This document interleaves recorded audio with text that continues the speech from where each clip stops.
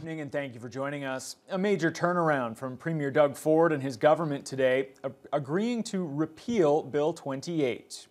That prompted CUPE education workers to end their strike, and both sides will now return to the bargaining table.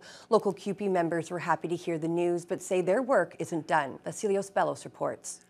We're going back to the bargaining table and get a fair deal for everybody. Thanks,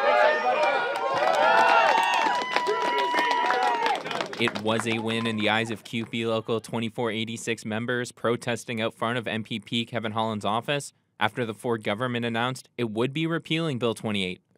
Many gathered around each other's phones to watch the big announcement, which will mean CUPE and the province will return to the bargaining table. In exchange for the repealing of Bill 28, CUPE has agreed to dissolve their strikes effective Tuesday. CUPE Local 2486's head steward Devin Clausen says this is an important step, but their work is not done. No, it's great to see that uh, they're rescinding the bill. Obviously, the amount of support and pressure that we put on this government worked.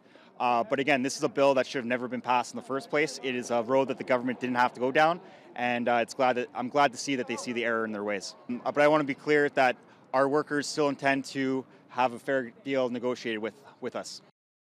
CUPE Local 2486 represents about 150 education workers with the Lakehead Board, including custodians, cafeteria workers, and maintenance staff.